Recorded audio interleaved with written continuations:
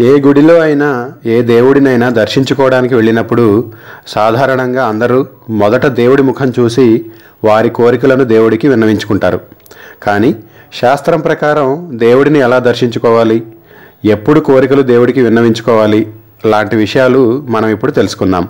ముందుగా విగ్రహానికి ఒక ప్రక్కగా నించొని తలను వంచి నమస్కరించుకోవాలి.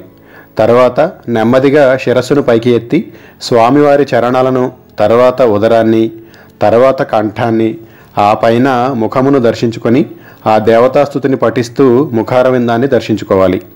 ఆ పైన శిరస్సును వంచి సంకల్పం చెప్పుకొని తమ కోరికలను విన్నవించుకొని వాటిని ఈడేర్చమని ప్రార్థించాలి.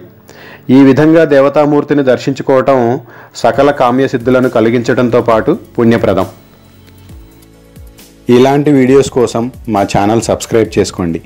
మా వీడియోస్ కనుక నచ్చినట్లయితే లైక్ అండ్ షేర్ చేయండి. Thanks for watching.